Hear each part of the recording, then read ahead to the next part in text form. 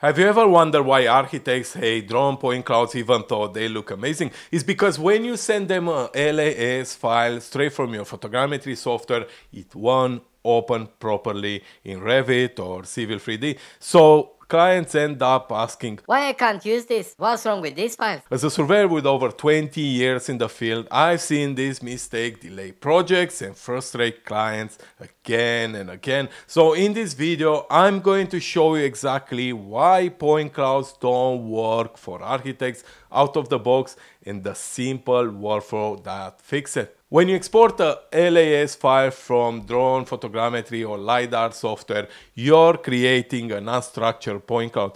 That means it's just a giant bucket of X, Y, and Z points with no scan position, no structure, and no indexing. And that's the problem.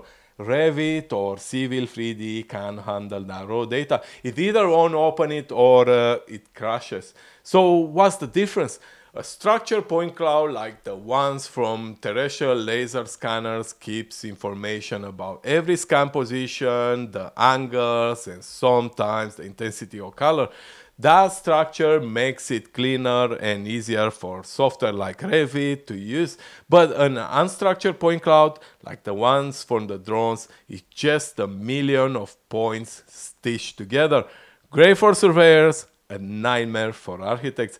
LAS is the standard file type for unstructured uh, point clouds. It's perfect for survey and GIS software, but Revit and Civil 3D were never designed to read raw LAS data. That's why your client can use it. Here where Autodesk Recap comes in. Recap takes your LAS files and converts it into a RCP or RCS file. That format is structured, indexed, and optimized for Autodesk products. Think of it like a translator. Recap doesn't change your data, it just makes it readable for Revit, Civil 3D, or Navisworks. Inside Recap, you can import LAS or LAZ files, clean up noise, classify your point cloud, set up the correct coordinate system, and export to RCP or RCS file.